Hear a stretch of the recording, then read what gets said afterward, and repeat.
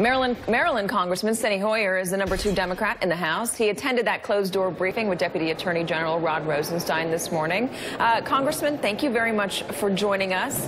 Thank what, you, Katie. What did you learn from Rod Rosenstein? What in particular stood out to you?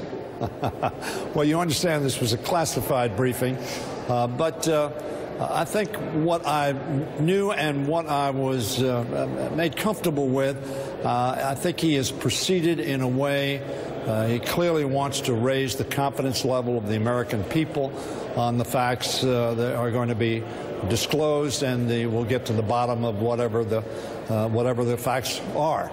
And uh, Rob Rosenstein, we've known him, Rosenstein, in Maryland for a long time. Uh, we have a great deal of confidence in him. Uh, and I think that Bob Mueller's appointment was an excellent appointment, which will, in fact, uh, lead to a very fair, thorough uh, investigation, and uh, the facts will uh, will dictate the result, uh, not politics. Yes. So that uh, I'm confident of that. Yeah, I'm sorry to interrupt you. Yesterday, Rod Rosenstein uh, told uh, members of the Senate that he was, according to their accounts, that he was aware that President Trump was going to fire FBI Director Comey before he wrote that memo. Did you get any more information on that, number one? And number two, are you comfortable for, with the role that he played in the ousting of FBI Director James Comey? Look, I have, uh, forget about what he told us in the, in the briefing. There is absolutely zero doubt in my mind uh, that President Trump uh, was accurate when he said, A, he had decided to remove uh, Mr. Comey long before he discussed it with the Attorney General and the Deputy Attorney General. Uh, B, uh, that he removed him uh, because of uh, the Russia investigation, which he thought was baseless. and three, because he thought Comey was showboating.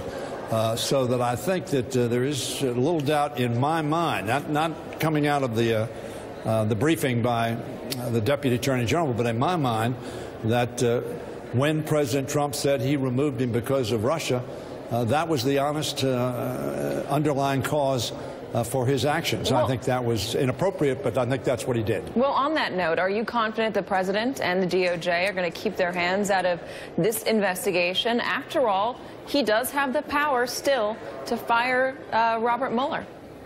Uh, apparently, he does not. Uh, under, as I, I, I, may be wrong on this, but uh, what we heard in terms of the uh, statute uh, and regulation under which Mueller was appointed, he cannot be removed except for cause, and that must be by Rosenstein himself. Got it. Are uh, you now, confident I, Rosenstein's not going to interfere in this election or this uh, investigation? Absolutely.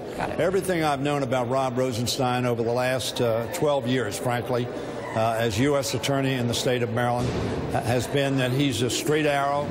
Uh, he, he, does not play politics. He doesn't play favorites.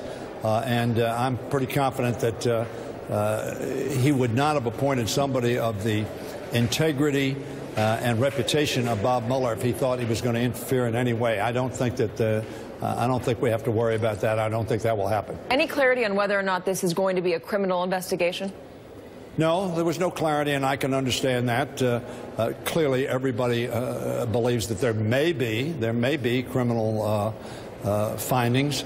Uh, there may be a reason to take action in, from a criminal perspective because there may be some sort of obstruction of justice, which so often happens in cases of this type. But the answer to that is we don't know yet, and Mr. Rosenstein properly was very reticent. he made no uh, judgment as to whether that was going to be the case or not, as he should not. Uh, but let me say something in terms of uh, the fact of, of, what Mr. Mueller is doing, uh, what the former FBI Director Mueller is doing, and what the Congress needs to do. I think we need to move ahead uh, in tandem or complementing the, the works of the special counsel with a commission. Uh, I think the intelligence committees ought to continue with their investigations, which will largely be uh, in private.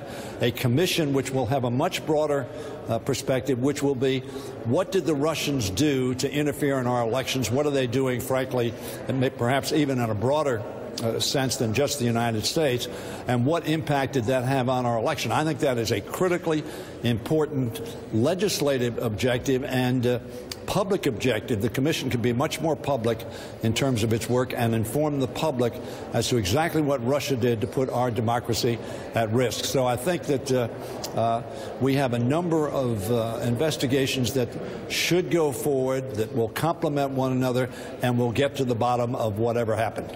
Uh, Congressman, as you know, the president is leaving on his first foreign trip. It's a pretty big one. Do you have any uh, concerns? What are your expectations for this trip? Well, I think the honest answer to that is I have a lot of concerns about this president dealing with uh, foreign policy.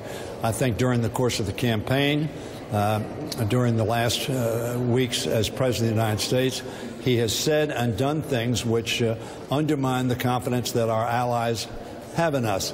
It's important from our own our own interest to have their confidence, but it's important for the uh, stability and security of the global community uh, for them to have confidence in the United States of America and in its president. So I am uh, certainly hopeful that he will not either say or do things uh, in this trip uh, that will further undermine and erode the confidence of our allies and uh, raise doubts in their mind as to whether or not what we say from day to day is what would be said the next day or the day thereafter. And that uh, we will, in fact, meet our treaty obligations, uh, that we respect uh, our, our, allies, understand that we are in this together. Uh, we're not the boss, but we are the leader. Now, there's a distinction.